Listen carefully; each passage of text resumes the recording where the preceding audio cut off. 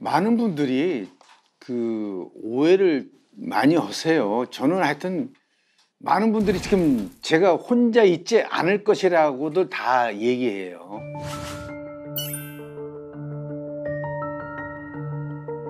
또 아니야 무슨 얘기야 나 진짜 뭐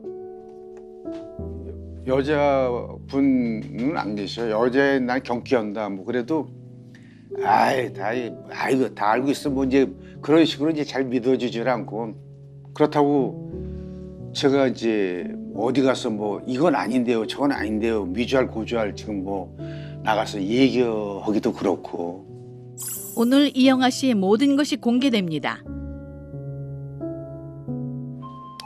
어 어? 벌써 친구들이 도착했나 본데요? 누구세요? 여기 혹시 그 대한민국 최고의 배우 이영하 선생님 댁 아닙니까? 맞습니다.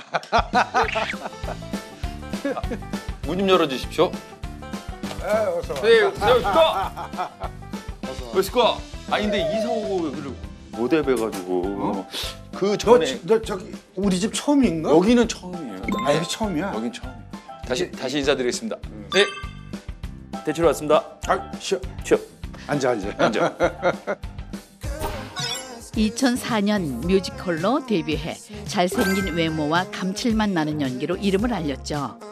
이영화 씨와는 같은 작품에 출연하며 인연을 쌓아고 있다는 배우 최대철 씨입니다. 왜 이렇게 얼굴이 좋아지셨어요? 나 혼자 살잖아. 아닌데? 이거 침실 좀 한번 이제 봐야죠. 침실 봐봤자 혼자 사는 침실 뭐. 저는 사실 침실이 가장 구- 궁금합니다. 예.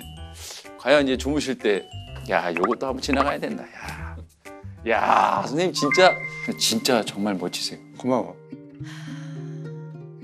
이영아 씨 침실을 한번 엿볼까요?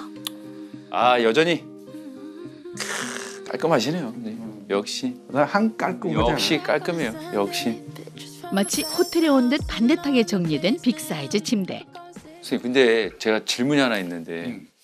좀 침대가 음. 약간 그, 그러니까 이제 큰 거 같은데. king size. 네.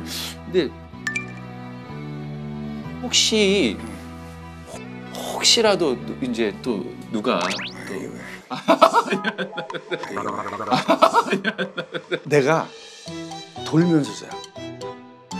잠, 잠 버릇이 그러니까 이렇게 이렇게, 이렇게 못 자. 아 한 바퀴 돌아야 돼.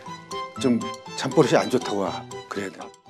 집이 넓네요 선생님 혼자 쓰시기 아주 넓어요 그럼 너 와 같이 살자. 저요 침실 옆 서재도 아주 깔끔합니다. 이영아 씨가 출연했던 작품의 비디오 테이프도 소장 중이고요. 젊은 시절 추억의 사진도 한편에 자리하고 있네요. 이영아 씨의 옷방을 구경해 볼까요? 옷이 종류별로 깔끔하게 정리돼 있어요. 야 근데 선생님 옷 진짜 많이 정리하셨네요 많이 정리했어. 모자도 제가 봤을 때 한 이거 한 두 배 정도 있었는데 또 다 주셨어요 응. 후배들에게 옷을 나눠주는 걸 좋아한다는 이영아 씨의 보물 창고였네요.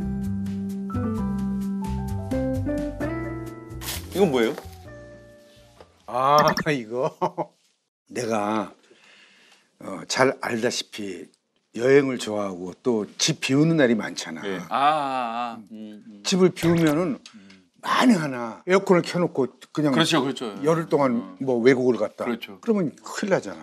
여기다가 체크 음. 체크하시는 거예요 그래서 나가면서 최종 점검을 해. 아 이거 다 껐지, 다 껐지, 어, 껐지 확인하고 근데 이 말씀이 저는 약간 좀, 좀 뭔가 이렇게 찬- 찬하게 들리